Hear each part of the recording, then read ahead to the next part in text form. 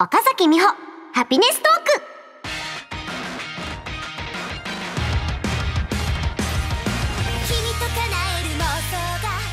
皆さんこんにちは。岡崎美穂です、えー、私はですね声優アーティストとして活動しておりまして11月3日にはセカンドシングルペタルズをリリースいたします、えー、さて今回で11回目、えー、この番組ではですね私岡崎美穂のアーティスト活動の裏側について毎週いろいろとお話しさせていただいております。それでは早速始めていきましょう。岡崎美穂ハピネストーク。はい。ということで、改めまして、岡崎美穂です。えまずは、先週のおみほとテレビスペシャル皆さん見てくださいましたもう、びっくりですよ。まず、おみほとが始まったこともびっくりだったんですよ。私的には。あの、キングさんの公式 YouTube チャンネルで。なのに、テレビ？え？テレビ？テレビみたいな。すごくない？みたいな。もう私自身すごいドキドキだったんですけれども、改めてまずはあいみさんとちゃんとご挨拶してお話しさせていただけるっていうもうここが幸せでしたね、本当に。あの、あいみさんの存在はもちろんもうレーベル、あの、メイトの先輩としても存じ上げておりましたし、その以前から、あの、声優としてご活躍されていることももう存じ上げておりましたし、もう、あの、憧れの、憧れのというかもう、お会いしたいなって思っていた先輩の一人だったんですけど、改めてこうお見事で会話でどういう感じでこうご挨拶してテンションでどういう岡崎美穂だったらあゆみさんとまあ私はこうななんですかね僭越ながら仲良くなりたいですよ。だから仲良くできるかなとかいろいろ考えてたんですけどもうなんかあゆみさんのテンションがなんて言えばいいんだろう。自然体っていうんですかね。だからこう、私がわーってテンパっちゃったとしても、あいみさんはずっとこう、あいみさんのまま、こう、どっしり安定して、こう、何ですか、美しい眼差しで私を見守ってくれてるお姉ちゃん感に惚れましたよね。ですし、あの、終わった後に LINE も交換して、たまにあの、LINE、LINE の会話とかもしてて、ちょっと話それちゃうんですけど、以前、あの、ゆくますくるますっていうアイドルマスターさんの番組があるんですけど、そこで、あの、えっ、と、まあ、私はシャイニーカラーズの方なんですけれども、あの、あゆみさんと、あの、ご共演させていただいたことはあったんです。あ一度お会いしたことは。ただ、あの、まあ、ソーシャルディスタンスとか、番組の構成的にあんまり、あの、掛け合いとかができなかったんですけど、あの、撮影かな？配信かな？が終わった後に、あの、あゆみさんが私を撮ってくださってた動画が、この間、あゆみさんから LINE で送られてきて、その頃から、あゆみさんとなんか、なんて言うんですか、あの、触れ合えていたんだなって思うと、なんだか嬉しかったですし、改めて、このおみほとっていう音楽のいろはを学ぶ番組で、あいみさんとお話してきたっていうのは、なんて言うんですかね、レーベルメイトとして、レーベルメイトの後輩として、よろしくお願いいたしますっていうなんかそういう感じの機会として、なんか本当に、あの、あいみさんとテレビスペシャルができて、私は本当にハピネスでしたっていう、そういうあの感想でございますね。はい。そして、キングアミューズメントクリエイティブ、そしてソニックブレードのあのアーティストの皆様のパフォーマンス、はあ、圧巻でしたよね。あの、まあテレビなんでね、尺も決まっていますし、こう全部は流せなかったから、ああ、いいところで次みたいな感じだったんですけど、もう、なんだろうな、改めて、こう、士気が高まるというか、本当にこの方々と同じキングレコードさんっていうレーベルにあの入れたことが改めて嬉しくなりましたし緊張感もやっぱり増しましたしその覚悟みたいなものも。でもやっぱり私があのまあナナさんはじめ憧れていた先輩方のパフォーマンスの映像を見て改めてキングレコードさんって本当に素敵だなって思いました。うんもうどのアーティストさんももう素晴らしくてちょっともうお一人ずつ触れられないです。でも多分皆さんねご覧になっておのおのきっとあの思われたことがあると思うのでね本当にもう最高の番組だったなと個人的には思っております。でね、番組中にペタルズのミュージックビデオも解禁されましたよ。すごかった、あの流れね。はい、今はね、こちらの YouTube 公式チャンネルでも見られるんですけど、皆さんあの時どうでした？どう思いました？びっくりしました？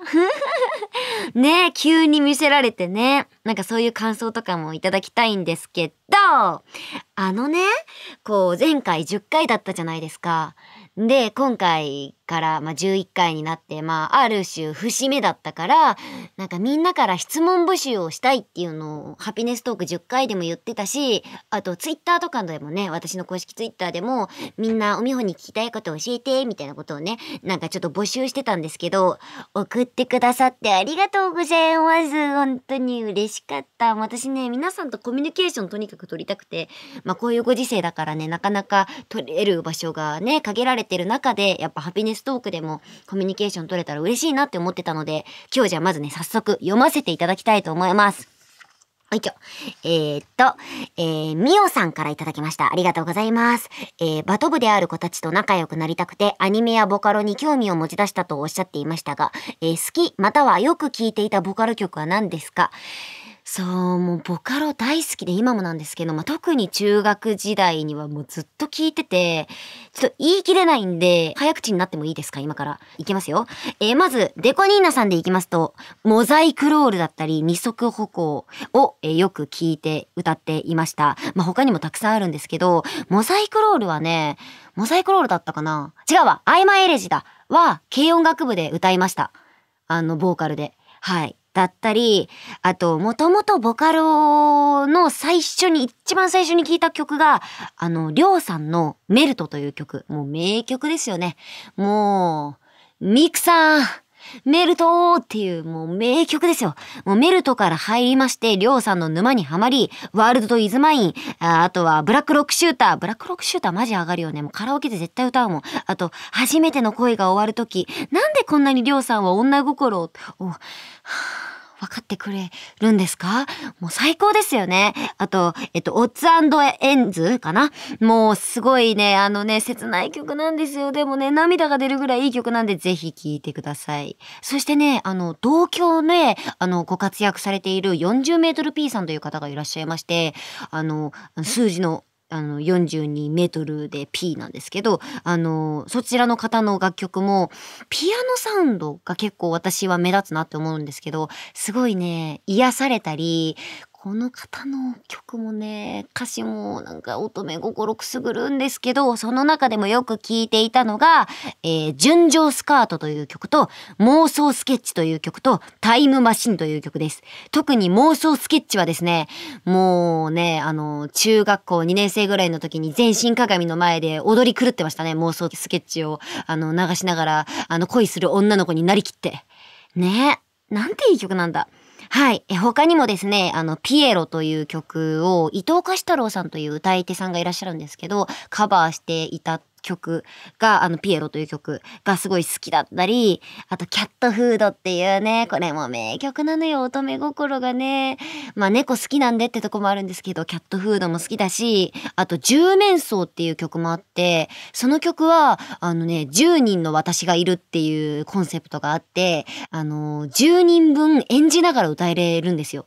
な、なんですか？まあ歌い方にもよると思うんですけど。なので、その時から声優目指してたんで、声色変えて10人の女の子を演じてたんですよ、自分で。だからちょっと印象に残ったりしてます。ちょっとごめんなさい。大丈夫でした？私の勢い。大丈夫でした？はい、ということで、ああ、でも、ね、あの、ぜひぜひ聞いたことないよって曲あったり、私も好きだったよって曲あったりしたら、あの、ぜひあの、皆さんメールください。お願いします。メールじゃない、えっと、コメントか、Twitter か YouTube お願いします。はい、ということで、ここでお時間が来てしまいました。MV 撮影の思い出の話は次回お話しさせていただきます。岡崎美穂ハピネストーク。はい、お送りしてまいりました。岡崎美穂ハピネストーク第11回の配信もまもなくお別れのお時間です。私は反省しています。ちょっと落ち着いてからお知らせを言います。お知らせです。岡崎美穂ファーストシングル、ハピネスが発売中です。えー、さらに、セカンドシングル、ペタルズも11月3日に発売。えー、表題曲は私も魔王役として出演しております。テレビアニメ、チャヒー様はくじけないエンディング主題歌です。嬉しいえー、こちらもお楽しみに。やばい、戻ってきたテンションが。えー、告示事項は盛りだくさんとなっておりますので、え、詳細はですね、岡崎美穂オフィシャルサイト、ツイッターなどでチェックしてみてください。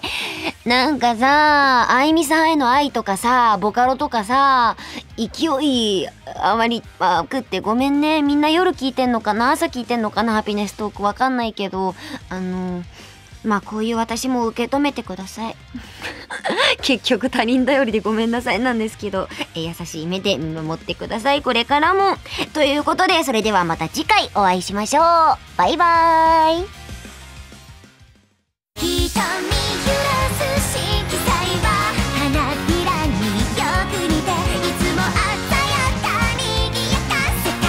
岡崎美穂セカンドシングルテレビアニメ「ジャヒー様はくじけない」